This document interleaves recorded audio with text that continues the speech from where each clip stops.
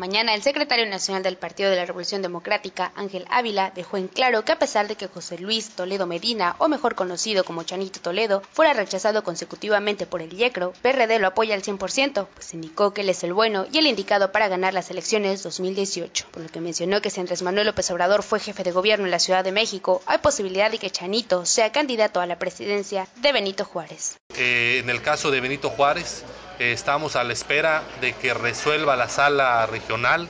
Creemos que el Instituto Electoral y el Tribunal tuvo un criterio demasiado rigorista en el sentido del compañero Chanito,